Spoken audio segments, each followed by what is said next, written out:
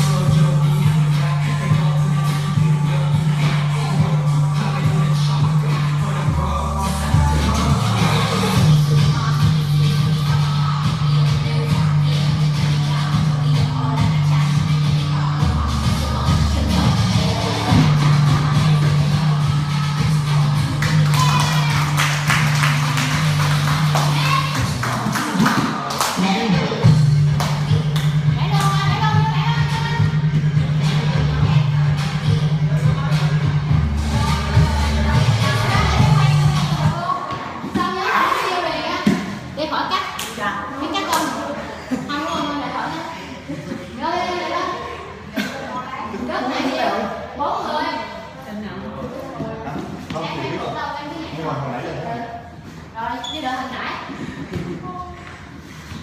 Rồi, trên Rồi, em đi